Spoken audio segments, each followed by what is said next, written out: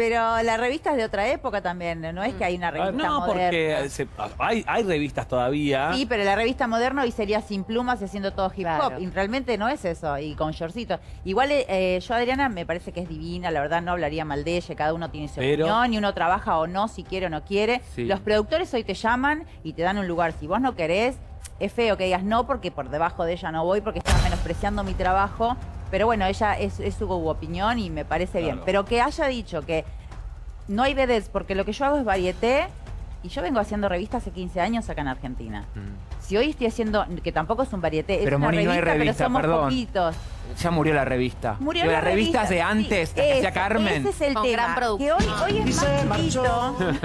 Nosotros, de hecho, estamos haciendo igual. tipo un café concert en un lugar chiquito, que somos ocho personas en escenario, eso, nada eso es. más. Pero- Claro, pero ¿qué pasa? Es que no hay plata. Ese es el tema. Es- Pero eso no es culpa es nuestra que no haya plata. ¿Pero crees que nosotros es solo trabajamos, eso, hacemos Moni? revista con plumas, con chero, todo divino, hermoso. Ahora vamos a calle Corrientes también. Pero digo, ¿crees que es solo eso? ¿O puede ser que no lo tomen a mal, pues ya la veo a Florencia, me va a saltar acá? en No, el yo no, no, estoy escuchando. ¿No puede haber pasado ya un poco el tiempo? Así como con determinadas cosas ya no se hacen chistes. No se ayornó, mucha gente dice que no se no se ayornó, Es decís. que, ¿cómo la jornal la revista? Ya de por- Pero en. París No- todavía sigue habiendo revistas. A mí me parece que el en problema- París. no, a mí me parece que- malísimo. Sí, A mí me parece sí, que el problema Es un horror. Pero no importa, pero. El lío de París es que público hay un montón. No, chicos, de verdad lo vi. Pero decís, yo también lo vi. pero es según es lo que un uno quiere No, es viejo, es antiguo. No, está bueno. Mira, digo, puede ser que ya haya pasado un poco, no solo por, por una Yo cuestión de no. dinero, puede ser que ya no interese tanto ese contenido. Moni. Mira, la gente lo sigue yendo a ver, porque a nosotros nos vienen a ver. Vienen a ver a Cheruti, me vienen a ver a mí, a Adriana Chamot, Sí. a Tascano, a Katy Pujín, a, no sé, Joel Ledesma, a las bailarinas, vienen a vernos, Claro. no es que no. Pero ¿qué pasa? Creo que lo que llama la atención de la revista, que no pasa en una comedia, son los brillos, las piedras, es Claro. el vestuario. Nosotros Los tenemos un vestuario espectacular. ¿Entendés? Es divino de Galo Martins, donde hay mucho brillo, donde tenemos. Yo tengo un espaldar de plumas en el final que es. No sé cuántos faisanes tiene. Y salen millones, o sea, sale un montón de plata. Sí, también me parece que lo que sucedió es que en una época, Pero, digo, mi amor, volviendo a, la- los, al, set- al 70 y pico o al 80, cuando se hacían las grandes producciones, era que había mucha, estaba todo prohibido, no se veían desnudos, entonces Claro. era un lugar, era una Era buena excusa artística para mostrar cuerpos.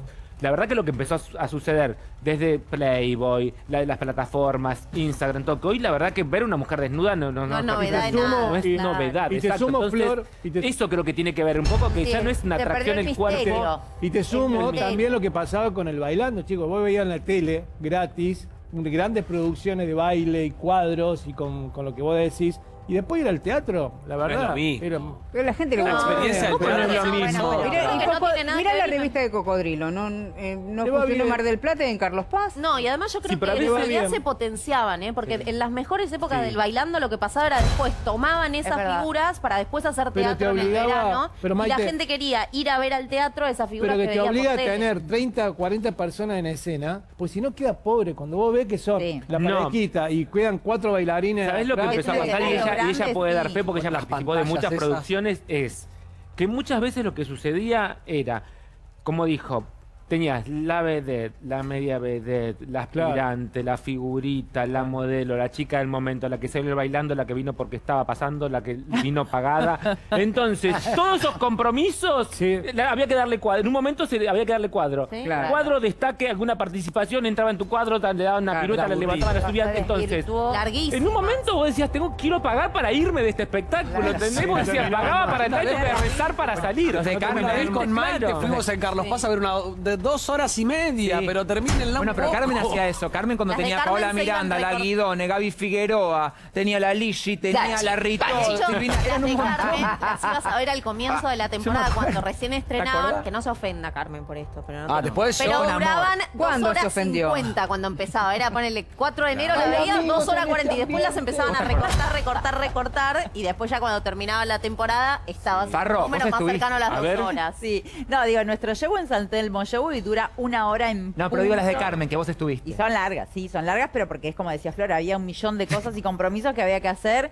Y hoy ¿Pero la por qué? gente no Yo sé digo, si ¿por qué tiene se hacen tiempo para decir a la estar gente sentado dos eso? horas Pero y ya la media. que dirigió Federico, que hicieron los tres, Nuevamente no era juntos. tan larga. Bueno, esa esa ya- yo la era- hice también.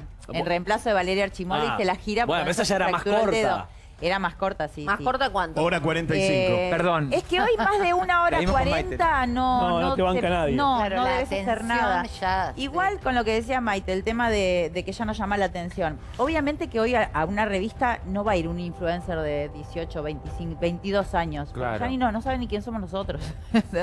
A no ser que haya Pero hay otro público de- que sí. Pero hay público mayor, hay público de mi edad, de quizás de 30 para arriba o de 28, que sí va, que Pero sí ahora que No van hombres a ver cuerpos, Sí. pero sí van No, no, pero mujeres yo con cuando me maridos. refería cuerpos a, a la espectacularidad. En, Es que es ejemplo, así, hoy nos ven en conchero y estamos vestidos para y el ver el despliegue del vestuario. Nombraste los influencers. A mí me parece que hay lugar para todos. Lo que sí creo es que se, Mm. digamos, se manoseó en un momento con esto que vos decís de los compromisos, la chica de tal y no sé qué. Que había cualquiera. cuánto, que había cualquiera y por ahí la gente se quedó con esa imagen. Claro. Queremos ver a gente que sepa hacer lo que sabe hacer. Yo digo, Cheruti, No a Claro. cualquiera. lo aman. Sí, porque a- después cualquier inútil que andaba suelta por ahí la querían subir a un Exacto. escenario a ponerla a bailar. Y no daban Claro. pie con bola. Sí. chicos, hay- hay- también pasó Sí, algo. Como no hay inversión, eh, ya empezaron a robar. Te ponían dos telones, una pantalla, una que bailaba mal. Acá incluso,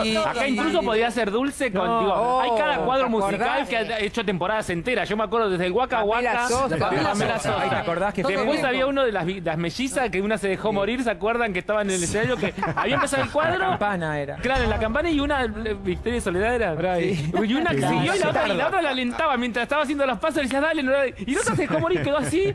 Todo el cuadro musical parada así. Y la armaba, le- hacía un paso y le decía, la alentaba. Y esas cosas fue maravillosas. Hay una revista, una un revista mensaje que, desde una revista que Francia. dirigía. Desde Francia le están Sí, llegando mensajes. eh, Sapo Artaza. Mira lo que dice Sapo, interesante. Dice, ¿no está hola, los estoy viendo desde Francia, en Ah, el mirá. gym, me dice. Sí. Ah. Che, Carmen hizo mucha revista, pero mi viejo fue la cabeza y productor de Sí. 20 años consecutivos, te lo pido, me dice. Es verdad. Sí. Como que no se eh, Claro. pondera Artaza. Artaza, que fue el descubridor. Lo que pasa No, es que sí. se habla de Carmen porque yo trabajé Va, con. Carmen, capaz. Claro, no, claro. yo nunca trabajé con Artaza y es la primera vez que trabajo con, con. ¿Y por qué nunca te Sí, lo que pasa es que igual? Artaza para mí, desde Nación Imposible o, o Los Bellos y las Bestias, porque él había empezado Ah, con, vagabundo. eh, con el, el- el co- ¿Cómo se llama el, el cordobés?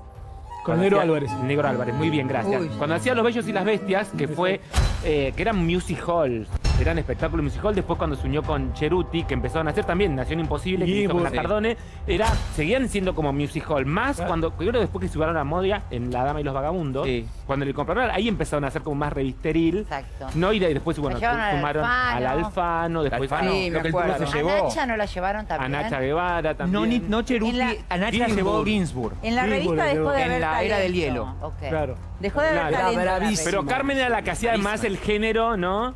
Más bueno, tradicional. hace Es fuerte igual lo que dijo Carmen recién hizo- Mónica. Dejó que de no- no haber, me escucharon, pasó, por, pasó, pero de- Pasó. dejó de la haber revista talento. dejó de haber talento, pero por este tema de que metían a esta Pepita, Menganita, Fulanita, y eh, el talento es como que, como esta es, es, es el momento, mejor pongámosla. Porque ¿Pero a quién te no referís? paga También hay una cosa, Moni, no hay capo cómico. A ver, está, bueno, está Artaza, está Cheruti, está Carmen. Lo que pasa es que también los. No hay figuras. No hay figuras. Bueno, sí, de- lo que pasa es que también, eh, como cambió tanto el humor, que, los. ¿de qué hablan? No,